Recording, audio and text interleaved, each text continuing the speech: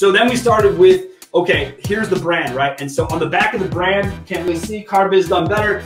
We decided to come up with these sweaters and go to the shows and do guerrilla marketing and put ourselves in a position where the logo was everywhere. You guys have seen me on LinkedIn. I get all the time. Sean, where's your picture? The picture's not important. The logo, that's what's important. That's what I want people to know and remember. This face is fit for radio, gentlemen, okay? It is not.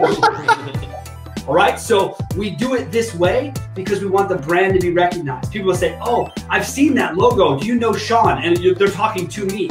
Or we're in a room where someone saw us and didn't realize that who we were because we had our backs turned and they were talking about us at a show. You know, and we were just we were sitting there laughing because we didn't have on our sweaters at night. We put on our, you know, our going out gear. And so we look like everybody else. And guys were, were talking about us. And it's just it's one of those things that you you realize early on in this business that people are going to always come for you. Uh, we created the space that we exist in. It's called vendor management. The idea we help dealers understand vendors. Okay, we created that space. Well, as we created it, we saw people come into it.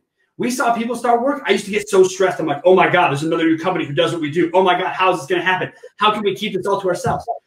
Then I stopped and I sat back and I just thought to myself, wait a second. We did something cooler than create a company. We created a niche business. We created a business people want to copy. Oh, that's cool.